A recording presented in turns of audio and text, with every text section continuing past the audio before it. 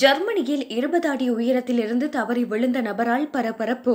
ஜெர்மனியில் நடைபெற்ற சர்க்கஸ் நிகழ்ச்சி ஒன்றில் எடுக்கப்பட்ட வீடியோ இணையத்தையே உலுக்கி எடுத்து வருகின்றது. கடந்த டிசம்பர் மாதம் இருபத்தி இரண்டாம் திகதி ஜெர்மனியின் டொய்ஸ் பார்க் பகுதியில் உள்ள பிளிக் பிளாக் சர்க்கஸ் குழுவின் சாகச நிகழ்ச்சிகள் நடைபெற்று வந்தன. அப்போது ஒரு பலகையிலிருந்து மற்றொரு பலகைக்கு திறமையான சர்க்கஸ் கலைஞரும் தொழில்முறை ஸ்கேட்டருமான லூகாஸ் மாலேவ்ஸ்கி தாவ முயன்றுள்ளார். அப்போது அவருடைய ரோலர் பிளேட்டில் ஏற்பட்ட கோளாறு காரணமாக எதிர்முனையிலிருந்து உயரமான மேடையை பிடிக்க முடியாமல் நிலை தடுமாறி கீழே விழுந்துள்ளார்.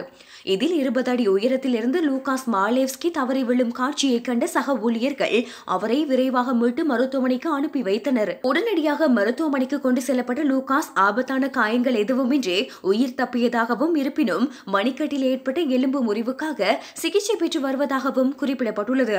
எனக்கு விழா எலும்புகள் இடுப்பு தோள்பட்டையில் அடிபட்டுள்ளது.